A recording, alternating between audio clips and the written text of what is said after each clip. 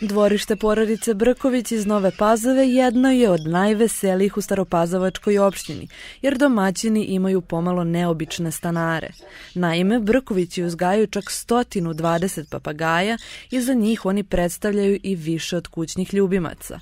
Ljubav prema pernatim životinjama oduvek je postojala, a prve papagaje kupili su pre više od 25 godina i od tada je njihovo jato samo raslo. Slučajno sam uzeo par papagaja tigrica i tako je to sve krenulo.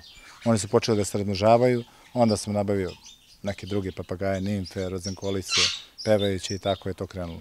Sada ih ima 30 vrsta. U volijerama koje se nalaze u ovom egzotičnom dvorištu možete videti papagaja sa gotovo svih kontinenta, od Evrope i Afrike preko Azije pa sve do Australije.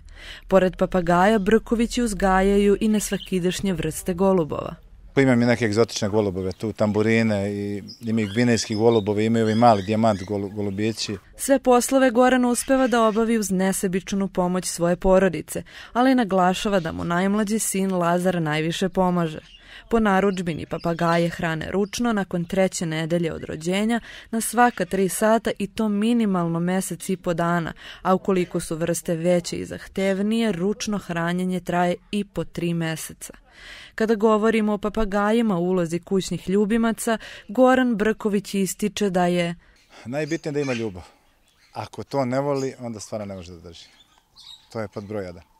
A drugo, sve ostalo je lako. Mislim, ono, nema nekog velikog tu sad posla, pogotovo ko ima manje papagaja. Papagaj Šandor domaća je ptica u ovom dvorištu, othranjen je ručno, te je zbog toga potpuno pitom. Goran navodi da je ovaj papagaj sa njim proveo najviše vremena, te da mu se zbog toga uvek obraduje, kao i da je on najveći brbljivac i da vrlo često ne zna da li ga deca dozivaju sa glasnim tata ili to ipak biva Šandor.